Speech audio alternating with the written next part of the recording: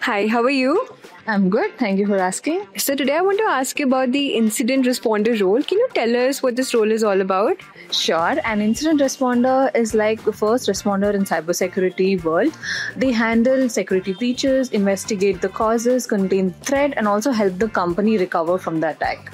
That's good to know. And what are the skills needed to enter into this domain?